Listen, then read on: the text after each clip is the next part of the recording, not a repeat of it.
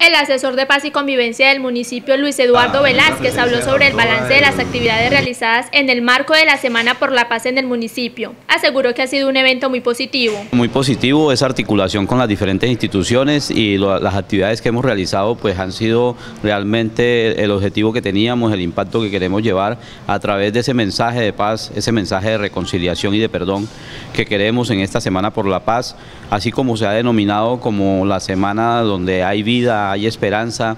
y hay paz. Eso es lo que debemos hacer, seguir coloreando la paz desde la, desde la Semana por la Paz. Velázquez hizo una recopilación de las actividades que se han desarrollado en lo corrido de la semana y también se refirió al conversatorio que se realiza hoy frente al tema de la paz. Eh, las actividades, el inicio fue formidable, esa unión de las iglesias, ese, ese acto que se hizo en el parque infantil, eh, los talleres que se están llevando a cabo en las instituciones educativas, el día miércoles la parte ambiental en el barrio Pablo Acuña, articulados con las diferentes instituciones, la administración municipal, encabezando todas estas actividades y hoy